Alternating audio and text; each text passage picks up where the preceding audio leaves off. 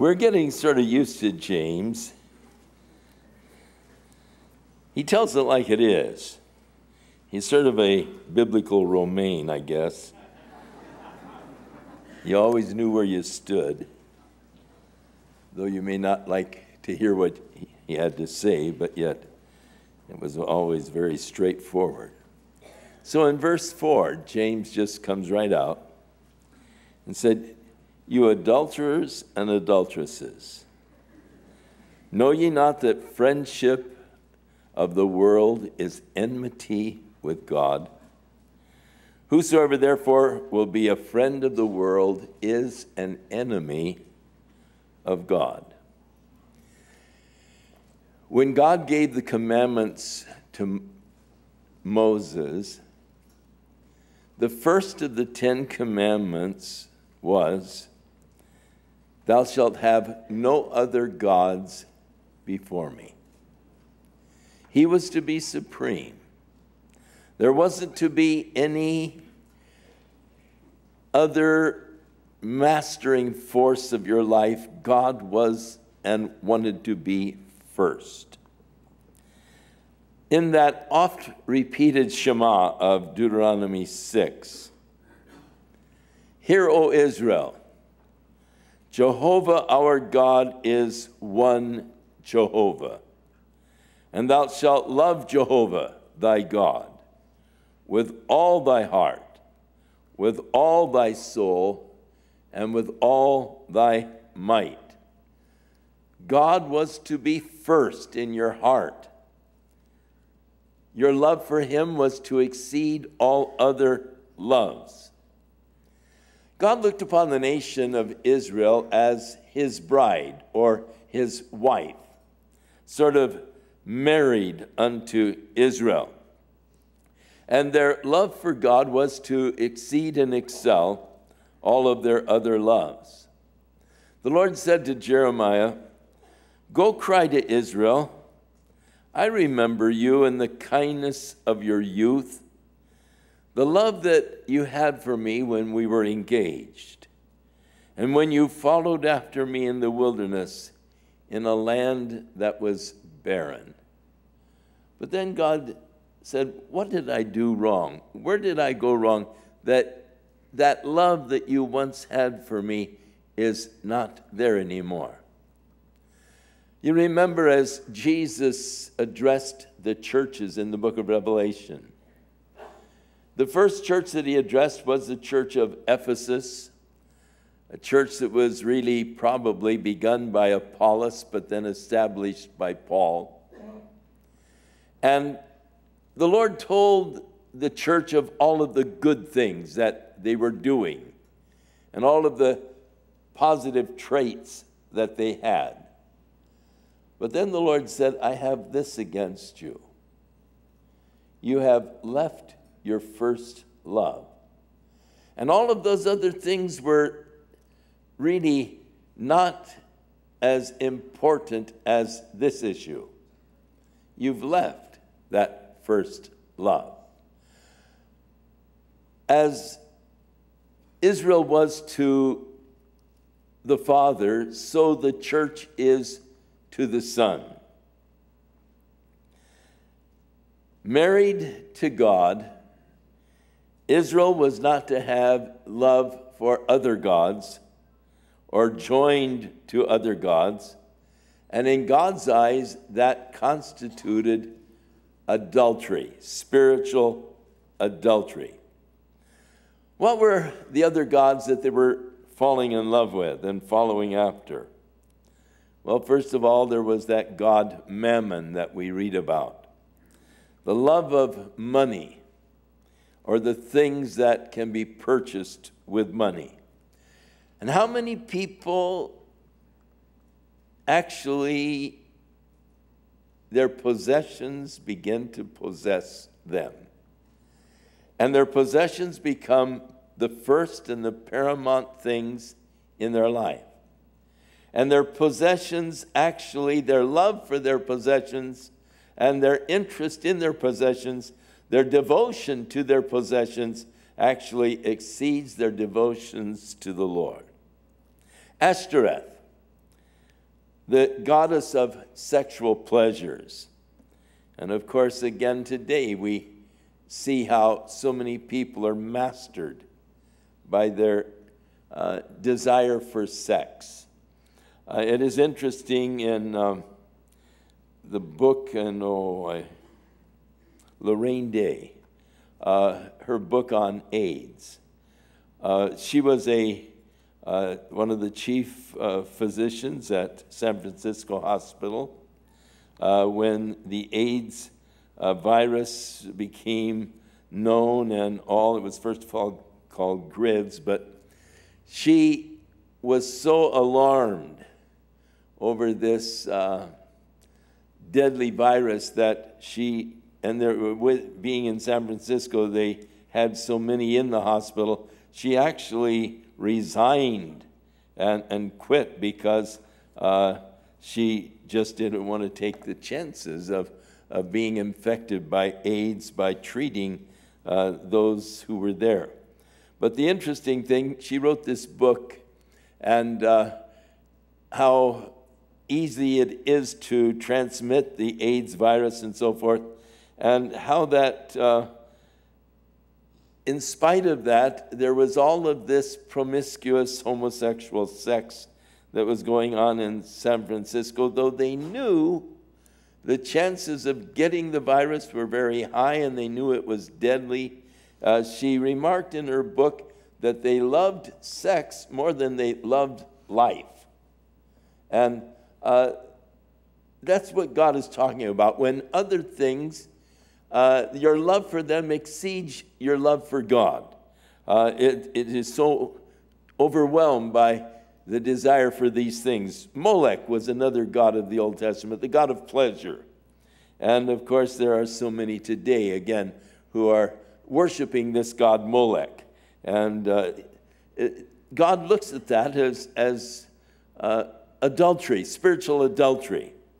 And, thus, James is saying, You adulterers and adulteresses, uh, in your heart you have a love for these other gods.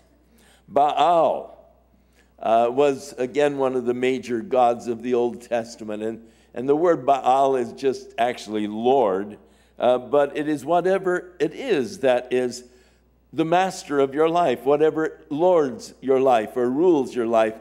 Uh, that is, if that exceeds, you know, whatever it be, your love for God, then spiritually you were looked upon by God as uh, a uh, adulterer. God said to the prophet Hosea, Hosea, concerning Israel, I will visit judgment upon her, for she burned incense unto Baalim and she decked herself with earrings and jewels, and she went after her lovers, and she forgot me, said the Lord. So, uh, God's rebuke for the nation of Israel. To Isaiah, uh, for thy Maker is your husband. The Lord of hosts is his name, your Redeemer, the Holy One of Israel. The God of the whole earth shall he be called. So, married unto God, in love with other gods, was spiritual adultery. God spoke to the people through Jeremiah in 320 Surely as a wife treacherously departs from her husband, so have you dealt treacherously with me, O house of Israel, saith the Lord. So now coming over to the New Testament, where the church is known as the bride of Christ, considered the bride of Christ. And so in Romans 7 4, Paul said, Wherefore, my brethren, ye also are become dead to the law by the body of Christ, that you should be married to another, even to him who is raised from the dead, that we should bring forth fruit unto God, married unto Jesus Christ. In 2 Corinthians 11, Paul said, I am jealous over you with a godly jealousy, for I have espoused you to one husband, that I might present you as a chaste virgin unto Christ. And so Paul's sort of being the father of the church in Corinth. And has the church there he has considered as his daughter. And in the marriage arrangement, I'm jealous over you with a godly jealousy uh, because I have want to present you as a chaste virgin unto Christ. In Revelation 19 7, there in the heavenly scene, let us be glad and rejoice and give honor to him. For the marriage of the Lamb is come, and his wife has made herself ready. And it was granted that she should be arrayed in fine linen, clean and white. For the fine linen is the righteousness of the saints. And he said unto me, Right. Blessed are they which are called to the marriage supper of the Lamb. And he said to me, These are the true sayings of God. Church, you, me, the bride of Christ. Our love for him should exceed all other loves. He should be first above everything else in our lives. You are not to really have any other lovers. That would constitute spiritual adultery. So James is here talking to the church. But those in the church who are in love with the world and the things of the world. I believe that there is far too much worldliness in the church today. I think that many churches are sort of catering to worldly things, using worldly methods to try to build the attendance, worldly methods to raise money. Uh, there are companies that you can hire across the United States that will come in and you tell them how much you want them to raise, and of course, uh, they, they raise funds for the church. It's a professional thing, but they use worldly tactics and all. And we've almost brought the world into the church. And, and we, we have made the church more of an entertainment center in many places rather than just a place to gather and worship God and study the Word of God and draw close to God. John describes what the world is as far as biblical terms. He tells us, Love not the world, neither the things that are in the world. For he that hath the love of the world in his heart hath not the love of the Father. And all that is in the world, the lust of the flesh, the lust of the eye, and the pride of life, they are of the world and not of God. Now, John tells us the world is going to pass away and the lust thereof. But he who does the will of God will abide forever. James just flat out tells us your friendship with the world is enmity with God. Jesus said, No man can serve two masters. But that's one of the big problems today. People are trying to serve two masters.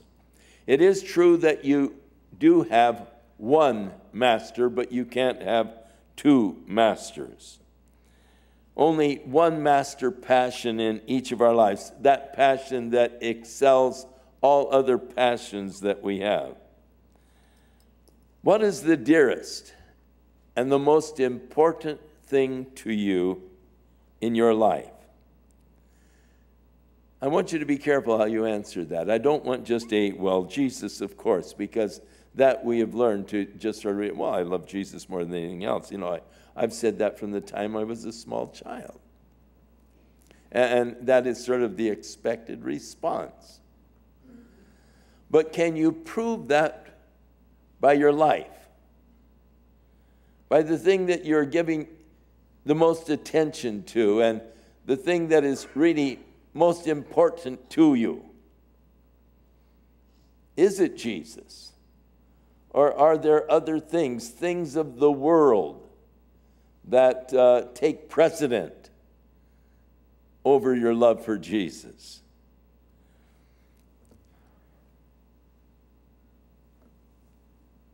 Sort of like the fellow who called his girlfriend. And he was telling her just how much he loved her. She was more important to him than anything or anyone else in the whole world. And if she were over in Europe, he would attempt to swim the Atlantic Ocean just to be by her side. He wanted so desperately to just be with her. If she were on the moon, he would endeavor to fly to the moon just to be with her. He can't stand being apart from her. He loves her so much. And incidentally, I'll be over to see you tomorrow night, providing it isn't raining. You know, and so uh, we, we say things, but then when it comes right down to it, a lot of times it, it, it's just words. It isn't really expressing the truth about me. So I may say, I love the Lord more than anything else in all the world. That's good if it's true. But we need to examine our hearts, and that's not an easy thing to do because uh, our hearts are deceitful and desperately wicked. And who can know them, the Lord said. And he said, I search the hearts. David said, You have searched me and you have known me. You know when I stand up, you know when I sit down. You know my thoughts before I think them. And David said, Such knowledge is too wonderful for me, I cannot attain it. What's he saying? I don't know myself. The knowledge of myself is, is something that I can't attain. Who was it? Socrates that said, Man, know yourself. But I'd like to suggest that that's probably the hardest bit of knowledge you'll ever have the truth about yourself because we are so prone to deceive ourselves. But if you ever really know yourself, not only will it be the hardest truth that you'll ever come to, but it'll probably be the most painful truth that you'll ever experience to truly know yourself. So, David, recognizing I don't know myself, God knows me better than I know myself, he ends that psalm by saying, Search me, O God, and know my heart.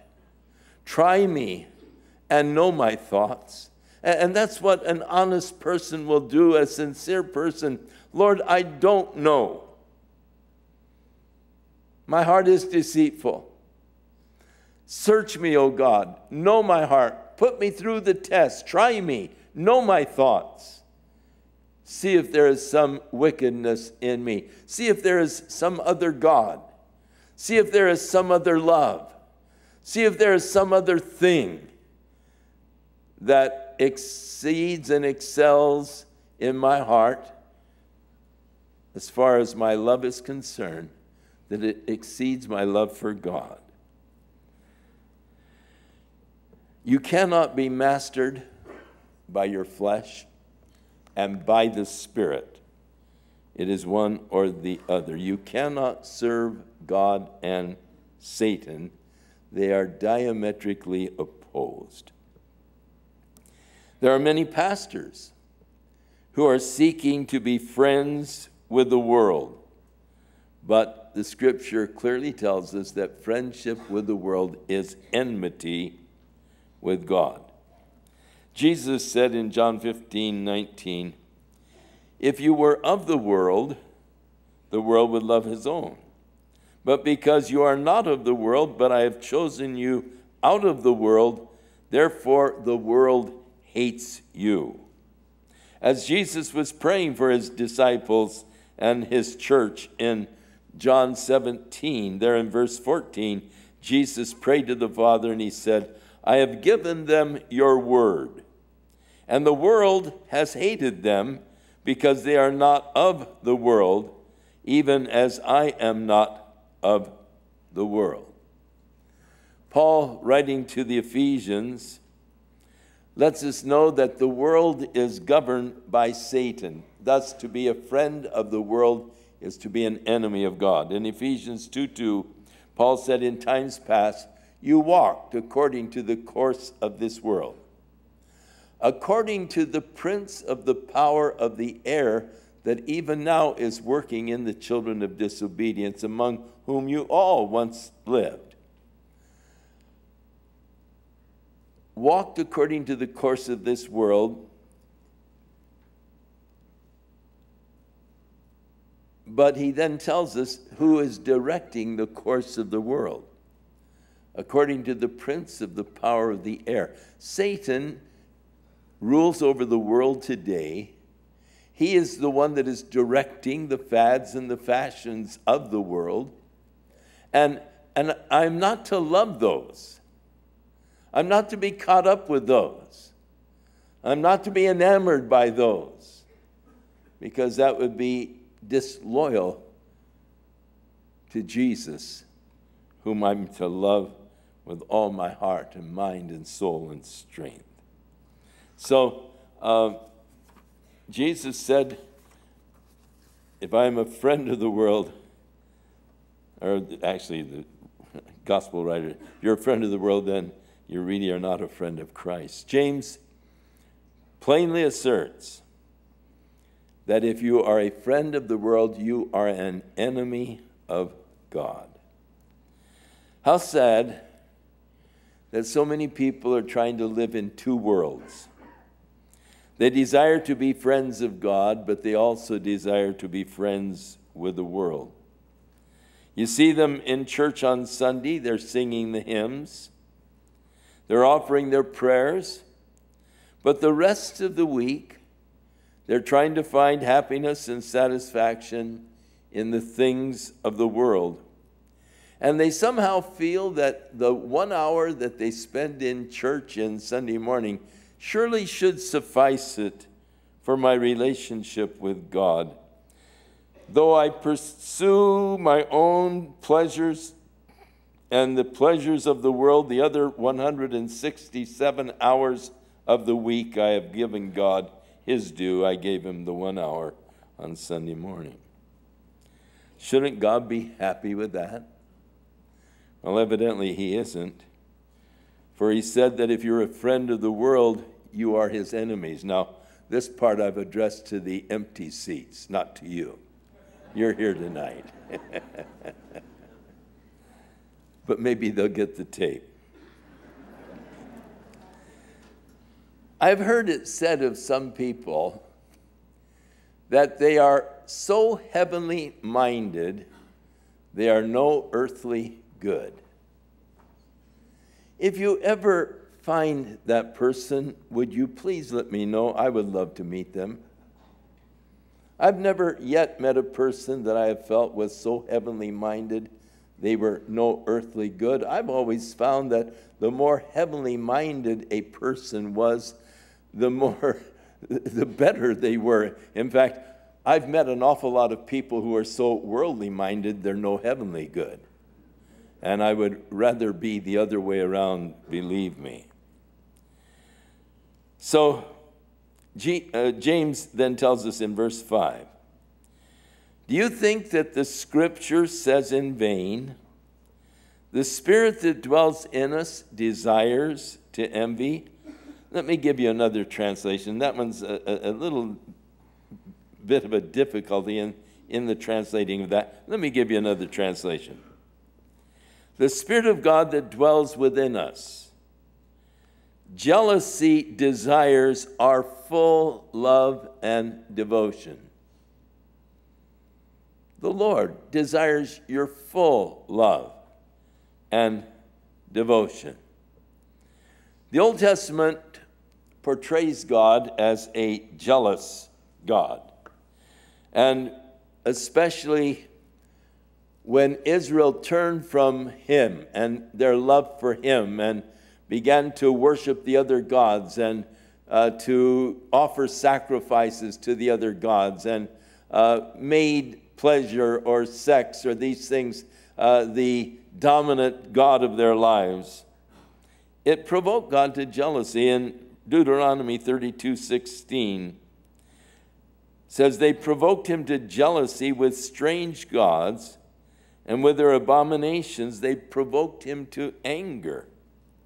In Deuteronomy 32 21, they have moved me to jealousy, the Lord said, because of their love for those which were not God. And they have provoked me to anger with their vanities. And I will move them to jealousy with those which are not a people. I will provoke them to anger with a foolish nation. In Exodus 24, again in the Ten Commandments, one of the commandments, you are not to make any graven image or likeness of anything that is in heaven above, or in the earth beneath, or is in the water under the earth. You shall not bow down thyself to them, nor serve them, for I, the Lord, am a jealous God. Exodus 34 14. For you shall worship no other God, for the Lord, whose name is jealous, is a jealous God. Again, in Zechariah 8 1, the word of the Lord of hosts came to me, saying, Thus saith the Lord of hosts, I was jealous for Zion with great jealousy, and I was jealous for her with great fury. I wonder if we really understand how deeply and how fully God loves us. He loves you so much. And He wants you to return that love to Him, but He loves you so much that if other things come into your heart and life that begin to crowd Him out, He gets furious. He's jealous. He wants your love. He loves you so much. He wants your love for Him to be full and complete. His jealousy desires are full love and devotion.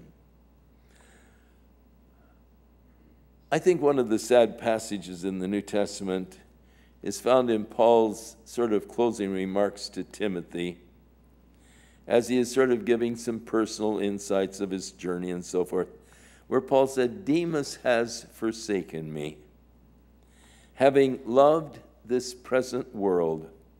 He's departed and gone to Thessalonica. What a sad thing. Demas has forsaken me because he loved this present world. Though John said, Love not the world, neither the things that are in the world. He that hath the love of the world in his heart hath not the love of the Father. James tells us that if uh, you know you're a friend of the world, you're an enemy of God. But unfortunately, Demas isn't alone. There are so many who have forsaken the relationship they once had with the Lord because they've allowed other things to come into their lives and to crowd out that place, that first place that he wants. Peter writes in his second epistle The Lord knows how to deliver the godly out of temptation and to reserve the ungodly for the day of judgment to be punished. Mainly those that walk after the flesh and desire an immoral life, and they despise order. They are presumptuous, self willed. They're not afraid to speak evil of dignitaries, whereas even the angels, which are greater in power and might, do not bring railing accusations against them before the Lord. But these, as natural brute beasts, which were created to be taken and destroyed, they speak evil of the things that they do not understand. But they shall utterly perish in their own corruption. They shall receive the reward of unrighteousness as they that count it a pleasure to riot in the daytime. But they are spots and blemishes as they sport themselves, being deceived. And when they feast with you, their eyes are full of adultery, and they cannot cease from sin. They beguile unstable souls, and in their hearts they have devised covetous practices, and they are cursed children which have forsaken the right way and are gone astray, following the way of Balaam, the son of Beor, who loved the wages of unrighteousness. But he was rebuked for his iniquity, as that dumb donkey spoke with a man's mouth to forbid the madness of the prophet. But these are wells without water, clouds that are carried with the tempest, to whom the midst of darkness is reserved forever. For when they speak great swelling words of emptiness, they appeal through the lust of the flesh and much wantonness to those that have fully escaped from them who live in error. While they promise liberty, they themselves are servants of corruption. For of whom a man is overcome, of the same is he brought in bondage. For if after they have escaped the pollutions of the world through the knowledge of the Lord and Savior Jesus Christ, and then they are entangled again therein and overcome, the latter end is worse with them than the beginning. For it had been better for them not to have known the way of righteousness than after they have known it to turn from the holy commandment that was delivered unto them but it has happened unto them according to the true proverb the dog has returned to his own vomit, and the pig that was washed to her wallowing in the mire. The Lord apprehended us that we might walk in close fellowship and communion with Him. With that, God is pleased. And with that, we are fulfilling the very basic purpose of our existence. For I was created for, by him and for him, for his good pleasure. I wasn't really created that I might seek my pleasure, to seek to do my will. But my heart should always be concerned with what would the Lord have me to do? What is his desire for me? in every situation, we should make that sort of a checkpoint. What would the Lord have me to do in this situation? How would the Lord have me to respond? Unfortunately, we don't ask that question so many times, and we are so set on our own ways. We're going to do our own thing, we're going to push our own agenda and we don't make room for God. We don't stop and we don't ask the Lord, Lord, what would you have me to do? I want to do that which pleases you. And I found that the Lord has been working in this area in my own life to a great extent, many things. I'm glad that the Lord doesn't show me all the flaws at once. I couldn't handle it. But he's, he's gracious. He shows me one at a time, but they keep coming. That's a problem. You know, you just think, well, I've got the victory in that. Praise God. And then he opens up and shows me another. Oh, no, you know. And, and, and so it's a constant work. He's always got the signs up under construction. but to wean me away from the world the things of the world, the desires of the world are for the world. So important. He be first. As James is so direct, as I said, ye adulterers and adulteresses. Know you not that friendship with the world is enmity with God?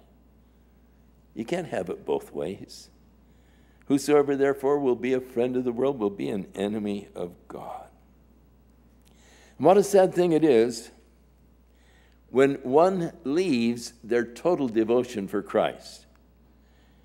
Demas no doubt was at one time very devoted. He, he left to, to join with Paul and to journey with Paul. Paul calls him in one of his epistles a fellow companion. In, another epistle, a later epistle, he said, Well, Demas is with me. Uh, he doesn't call him a fellow servant anymore, but he's still there. But then to Timothy, well, Demas has forsaken me, having loved the world, the things of the world more than the things of God. It was a slow, gradual kind of drawing away from the, from the Lord and the things of the Lord. But rather than going that direction, may God help us to come the other direction. May each day find us a little closer, a little more committed, a little more earnest in our love for Him and in our devotion for Him.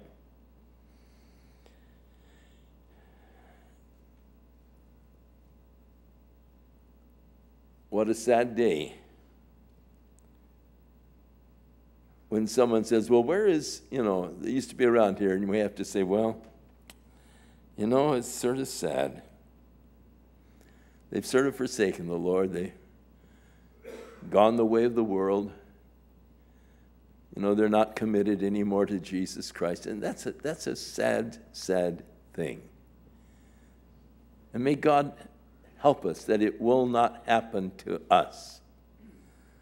But again, as we said, may we be drawing closer to the Lord. May our love for Him be increasing rather than decreasing until we are fully consumed with our love and commitment to Him. Father, help us. The world is there with its allurement. Satan makes it look so attractive. And yet, Lord, we realize that to love the world and the things of the world takes away our love for you. And to be a friend of the world is to be an enemy of you. The world that is governed by Satan, directed by him, the world that is attracting so many people and leading them to destruction. Oh God, keep us from the world and the things of the world. And keep our hearts ever devoted fully. In Jesus' name we pray. Amen. Shall we stand?